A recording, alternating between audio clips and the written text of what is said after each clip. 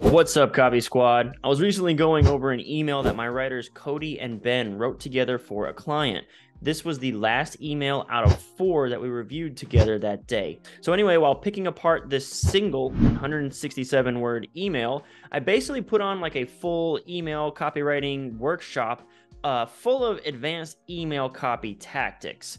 And I thought this is the kind of stuff that my YouTube audience could really benefit from because it takes us beyond just the simple disrupt, intrigue, click formula that we're typically espousing on this channel. So make sure that you stay until the very end of the video where I'll show you the original email that they came to the call with, and then I'll show you a copy of the final newly edited email so you can kind of compare the two. If you're an offer owner or publisher, pay attention to this because this is me workshopping just 167 word email out of four that we did that day. And we spent about 30 minutes working on it to make it as sharp as possible for our client. I take immense pride in our craft. And if you want to work with my agency, we will treat each email for you the same level of care that we did for this one. Just visit copysquad.net forward slash work with us. Fill out the form if you'd like to discuss working together. Thanks so much and enjoy. Peace out, Copy Squad. Uh, your trash could soon make investors rich. All right, yep. So I don't like the trash angle inside this promo because I don't think the reader actually cares. I think it's an interesting little use case, but again, I just don't see how the reader could care. The second thing, your trash could make investors rich. Yeah. Do not care about that either. So there's two two misses at play right there. All right. So next, an urgent 11 trillion is up for grabs right now. This material will unlock 11 trillion dollar fortune. So, on the whole, most of these subject lines kind of suck. And the 11 trillion, there's another problem where it's like monopoly money. Mm-hmm. It's it's Grand Theft Auto coins. It's like what's 11 trillion dollars? I saw I saw this very clear. I want to say two, three years. It's 2019. It's been four years. Was it 2019? I think it was. But maybe it was. But Dean Graziosi and Tony Robbins were doing their launch, their first mastermind launch. And the beginning of every single one of their YouTube ads started with there's, you know, that's, there's a something billion dollar industry that you can tap into. It was either one, two, 51, or 52 billion dollar industry. They're talking about the info publishing space, just creating course creating, course content, right? I don't remember that number. And not only do I not remember that number, whether it was one or 50 made no difference in my memory bank. That's the same thing. What is 11 trillion? You know, that I'm not getting 50 billion dollars off of their course creating thing. You know, like what they're trying to do and what you guys are sort of attempting here is FOMO. But hmm. again, it's too pie in the sky for me to feel the urgency that you're trying to make me feel. So all of these are a rewrite. Well, that was like that promo that I posted in the inner circle too, where it's like it's two point one quadrillion dollars. Yeah. The most disruptive material in history is about to open up massive investment opportunities in every industry on earth. Soon it could replace silicon chips as a as a copy chief. If you understand what I'm going to be looking for, it can help you sort of self edit. But I, I'm going to read the subject line, and then I'm going to read the disrupt. And the disrupt has like two grades the disrupt itself, and then, which we just discussed, how well do you thread your disrupt to your larger argument of teasing, your intrigue that you're going to be introducing in the next lines, right? You guys follow so far? Hmm. Let's sort of stop right here on line three, which is about as far as you usually need to go. And you tell me what you guys think. I think I've identified a bad habit of me doing this where it's like I feel like I've paid it off because I pay it off at the end, but that's not okay for the reader. I've noticed that in my promos too, in like a section where like I'll make a claim or something and I will I like have the info or whatever to pay it off, but I it, it comes at the end, and it's, so it's not really paid off. So like in this, like we're talking about, trash can make investors rich, but it's like the second last line that we say that. Hmm. Okay. So what you're saying is your disrupt and even your intrigue section betray the subject line. Yeah. Because right. I feel I always feel like well I'm tying it at the end so that's fine and it's not. Mm, yeah. Yeah. You're like you're like, hey, I got something you want. Now listen to all this bullshit. Well, and I I'm like, gotcha. ah, and here's the thing at the end, you know. Yeah, yeah, yeah. I've noticed that in a lot of my writing. All right. Well, cool. I mean, I think it's even better that you discover it for yourself and you sort of have, you know, it's your idea, not mine. I'm not telling you, you sort of see it. That's Mhm. how all persuasion works, right? So, okay. Ben, what are your thoughts on these first three lines? So the disrupt, I would say, is fine. Like with the investment opportunities in every single industry, maybe uh, possibly vague. I don't know. But then it goes. It starts talking about the the industries rather than rather than the opportunities themselves, which I think could lose interest. Okay. Okay. All right. So, um, looking at this, something I want to point out. I think I think Ben, uh, you make two really good points at a technical level of like how well this is written. The the first thing that you said is the first line is vague. I sort of look at this the most disruptive material in history. Okay. So again, the most disruptive material in history. Those are your opening lines. It does have like a. It sounds you're saying it's big, but the problem is there is nothing in my lexicon or experience as an investor that I'm looking for the next disruptive material. I don't go like, all right, another disruptive material. However, there were periods in history where you say the most disruptive crypto, you say the most disruptive energy stock. You could say the most disruptive tech stock. You could say the most disruptive. Uh, I mean, eh, pick a hot topic. IPO. Uh, the most disruptive. You know, the thing is, you have here the most disruptive easy bake oven. That's what you've kind of done. The most disruptive mm-hmm. Play-Doh machine. You know, like it's gonna change the game at Play-Doh. There's never you'll never you'll never look at Play-Doh the same. Right? That's kind of what you're doing here. All right. Like that's cool if I gave a shit about Play-Doh. Right? All right. That's problem number one. About to open up massive investment opportunities in nearly every industry on earth. Okay, again. So one of the tough parts here, that's that's compelling. The problem is something that Ben was saying is the, execution in the next line is not great because you're writing like promo copy again. You're writing as if you have all day, right? Like, look at this. Let me see what this comes out to. I think it's going to be a surprising number. 167. That's actually shorter than I thought it was going to be because some of these bullets are like really long. So It's anyway, still big on the long side because we want to aim. It's generally under 150, right? Eh, you know, it, Depending, Some- but like that's a, it's a decent benchmark. I think hmm. around 150 to 180 is a solid range, which we hit here, which is fine. It's good. So anyway, we're looking at this. So I think the execution here, when it comes to these bullets, written to, it's not dramatic enough. It's not intriguing enough. It's like I want, uh, I want it to be written more in an intriguing fashion. That's more emotional and more related to the reader. So we could probably workshop this a little bit now. The most disruptive material in history is about to open up massive investment opportunities. Okay, another thing reading this out loud, boy, what a mouthful, right? There's a lot going on here. The most disruptive material in history is about to open up. All right, so there's a couple things. You have this sort of connecting clause, is about to. And then you have this open up, is basically one action verb, right? Massive investment opportunities in nearly every industry on earth. Okay. So let's just do better writing on this one. So the most disruptive material. Okay, again, we know that that's not exciting.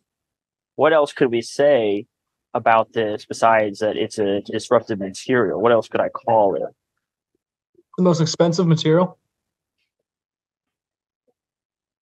All right. It's, I it's the we could argue it's the rarest material because it's so hard to produce. I Yeah, like some- that. Something about be- being new and unique. Okay. I think one of the things that we have to work on is the word material itself. Right? Mm-hmm. No one gives a shit about a material. It means nothing to an investor's brain. Can we So say what- substance? That wouldn't either. No. Remember, think about investors. What would get it? Mm-hmm. Like I said, the number one tech stock, the number one crypto, the number one IPO, the number one SPAC. Those are all like promos that have existed. What is this the number one? Lots of things. what sort of category can we place it in? What sort of category can we put it in that's hot for investors that they would be excited about? Um, tech breakthrough. All right. Resources. Resources. Resources is resources sort of high risk, high reward. Like resource people will be hot for resource talk. If you're on Marin Katusa's list That'd be and you perfect. put yeah, you put the number one resource, I'm opening it. But if I'm on Eagle and there's no resource guru and I'm on the list, uh, you're not talking to me. Well, this is a tech list, so we I feel like then we should lean into that. Right. So one thing that we could do, see this? Actually, let's get it for the camera. The rarest tech material on earth. If I'm a tech person, immediately got me. Yep. I don't care what comes next. Yeah. Because I don't even know that there was a rarest tech material on earth. See what I'm saying? Yeah. Mhm. All right. The next thing. About to. You know, that's the about to thing is a function of the next part actually what makes it so wordy. So i actually think i'm okay leaving that up but it's open up massive investment opportunities. How can we make this more this is where it really gets flocky gets clunky. So what, how can we do that? The rarest tech material on earth is about to do what You could go with the send ripples through every industry on earth or impact every industry on earth. I feel like that's getting away from the reader though, because like the point of this is, you know, the massive investment opportunities is geared Yeah. to. If we're just disrupting industries, that's not nearly as attractive to the Yeah, reader. true, true. so exactly cody that's what i was going to say so go ahead down that thread what what else could we do in that regard You could go with the unleash flood, uh, unleash a flood of wealth or something along that line. Good. I feel like I feel like yeah, we can go something like that, and we s- we could split this. So it's like the rarest type material on Earth is about to unleash like a, a eleven trillion dollar flood of wealth, and the next line is you know nearly every street every industry on the planet is going to be affected or is going to be turned on its head or something like that. Hmm. Okay. I like the idea of that concrete number. So the 11 trillion uh, now works as a form of credibility because it's concrete. And it's not about how big it is. I'm not trying to entice you with the 11 trillion because you're So we- enticed by you're enticed by rarest tech material. 11 trillion now is just like fact, like concrete fact. So let's take that 11 trillion and make it exciting for the reader. That's the biggest problem with the 11 trillion dollars. How do I make that exciting for Grandpa Clark? I guess the only way is like we have to make it so that they can have access to it, right? The eleven trillion is not interesting unless they can access it. Hmm. Exactly. How do we do that? There's so much on Earth. I don't know how to word it, but it's basically like the rarest tech material on Earth is about to open up an eleven trillion dollar or unleash eleven trillion dollars, and everyday investors can could get on on it if they know this one company. Yeah. So I'll give you guys a hint. You can just tell them that they will receive it. So you could say, is about to send like eleven trillion dollars into the pockets of early investors. There you Yeah. go. Yeah. Right. First So, investors. There you go. All right. Is about to. All right. So something else. Uh, We'll put that down, but then we're going to workshop that even further. So notice how we're no longer talking about every industry on earth. Talk about investors. Talk about you, the reader. And I don't want to. Here, I- I'll give you one. So, first thing I want to change is first investor. I don't want people to think they missed this. Mhm. To, I would say something like this.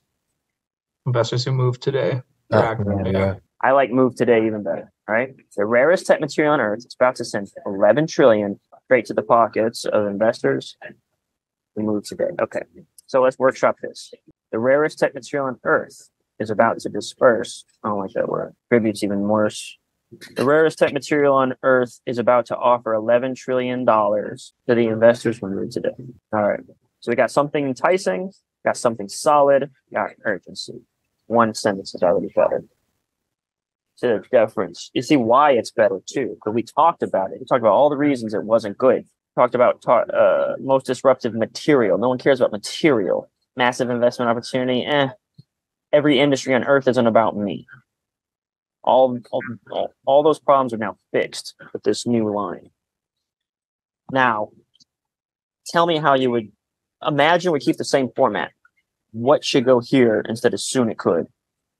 We could go like um, this. Oh, th- this explosive material is, or, or sorry, in um, within days, this material is going to revolutionize, and then it could be like each industry because you could make it a lot shorter that way, and just say the industry and how much money that they could, or how much money the the material is going to produce for that for that industry. What is And the problem with that? Though? What is missing from that? Me. I mean, it So in each instead, instead of saying it's going to revolutionize all these industries, you could say something like it's going to open up an opportunity for investors to pull 1.1 trillion out of this market, 104 billion out of this market, four and a half trillion out of this market. Okay, that's that's closer. better. That's better. That's intermediate. What's the advanced line? You got? You want to take a swing?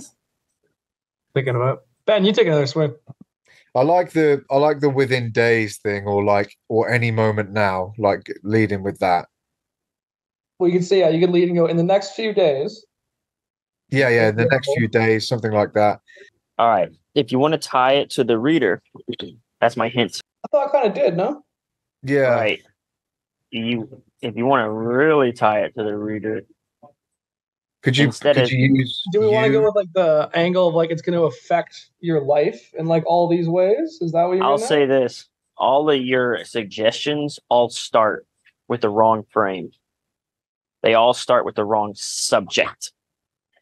You want to start So- with investors. You want to start with the me. start with you? Investors will soon have a chance to pull Mhm. 11 trillion out of this market, one and a half trillion Right. out of this. Market. So we could Yeah, say, that's nice. That's nice. right. So you keep saying it's going to do this for investors. Yeah, but yeah, I yeah. could instead just get straight to the result Mm-hmm. and say investors I could do that a will lot. To be tap into. And so I'm going to workshop this now. See how I'm doing this? It almost also kind of creates like a bit of curiosity and like dissonance because I got to read like water filters, a 3.2 billion dollar market. I'm like, what the fuck are you talking about? Also known as water, you know? intrigue. No, Yeah, intrigue. like sci-fi creates percentage, intrigue. a four Right. trillion dollar market. I'm like, what are you? I no, it's not. You know, so that's cool. So right. So one of the cool things about this, and this would be a great way to sign off. Yeah, we got like three lines. Is that when we fix the problem of who we're speaking to, a lot of this other stuff falls into place. Yeah, Like when we have the fundamentals, it doesn't matter what words. Like like ah, as soon as today. No, I still don't care. If you just switch this to what I get, and not make it about what the industry is going to do, but I get to tap into all these, all these, and you say every electronic device on the planet, that doesn't make sense. Like how? And then you do it again, every battery. How? Sci-fi level, and then you get to a point where it's like, wait, how are these things connected? Like when the foolproof water filters pop up, I'm like, what does that have to do with batteries? You see, Yeah. now I'm creating this web of intrigue. I'm just layering and And layering. then you and layering. weightless car parts, and you're like, what the fuck is going on? Yep, exactly. So, all in into the marvel of science. okay, one small Ontario-based plant is, uh, for some reason, like the word plant made me think like you know Bulbasaur, like plants, like Like the rose bush in Ontario is gonna. yeah, yeah, like. The, I was the just problem, thinking on that the note of intrigue because like I, I I made I put Ontario based because I was like I want it to be credible and like succinct, but do we want to should we take that out and be like one secret facility like in northern Canada? You know, like this. no, but like getting rid of Ontario. Oh, um, I mean, yeah, that's not important. The reason Ontario is important is the same reason 11 trillion is important here, is it needs some sort of concrete credibility. Uh, right, and that's you why I did it. I you don't really need it. you don't really need it here. but It's fine. One Ontario-based facility is creating this miracle tech, miracle tech material in secret. Now, I, I don't know what to say here, but like That's a weird edit to me. Why would we? Oh, okay, never mind. working on this miracle. I mean, honestly, like we can only undo a lot of the intrigue that we've built. I I don't actually want to even bring in I Ontario gonna because say, like this is so intriguing unto itself. just leave it. Yeah. Boom, there we go. We did it. All right, so that's that's that's dead four, and we did a good job, and we learned a bunch of lessons here. It was a solid call. Got a lot of principles and foundations built in, and I have to jet. All right, and until then, peace out, copy squad. Peace.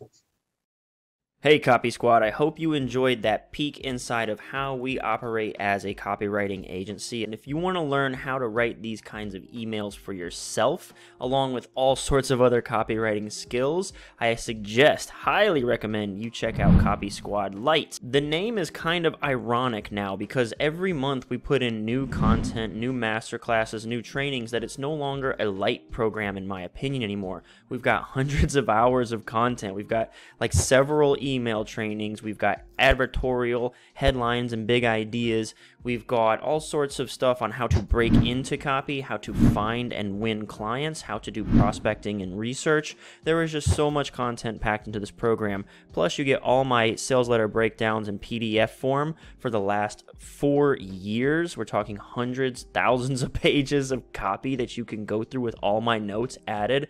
Not only that, you're also going to get access to my book, Take Their Money, as part of your membership, and also a full Discord community with hundreds of like minded copywriters, including freelancers, some guys who are publishers, some guys with tons of experience, and some newbies alike. So there's just so much value stacked. I, I might have to change the name from Copy Squad Lite, but if you're interested in that, you can go to copysquad.net forward slash light, L I T E, and check out Copy Squad Lite today. I hope you enjoyed the video and got a lot of value out of it, and I thank you so much for tuning in. And until next time, peace out, Copy Squad.